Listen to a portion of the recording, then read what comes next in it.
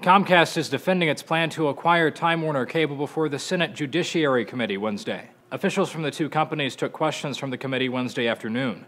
Senator Patrick Leahy leads the committee, which wants to know how this merger would change the consumer ecosystem. Consumers, though, don't want to hear complex legal jargon or obscure regulatory terms. Consumers want to know is this merger good for them or not?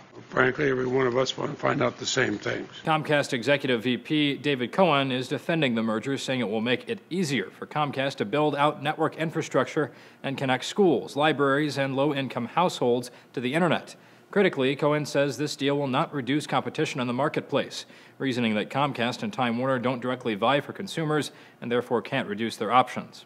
That said, if the merger goes through, Comcast Time Warner would become a behemoth in the cable industry. The firm would control 28% of the U.S. cable market and between 34 and 40% of nationwide broadband access. Digital Trends wonders with so much power across industries, why should Comcast innovate or upgrade when the majority of its subscribers have no viable alternative? Gene Kimmelman, CEO of Public Knowledge, testified at the hearing. He worried Comcast would position itself to dictate how much consumers must pay determine what packages of services consumers must buy, and influence what devices people can use to receive the type of video content they want.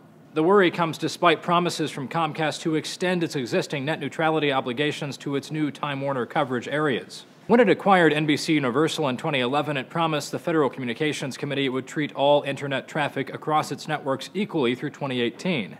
Meanwhile, public opinion of the deal is speaking for itself. Comcast secured the dubious honor of Consumerist's Worst Company in America award Tuesday as it filed its merger paperwork with the FCC. Regardless of the outcome of Wednesday's meeting, Comcast's absorption of Time Warner is still subject to FCC and Justice Department approval.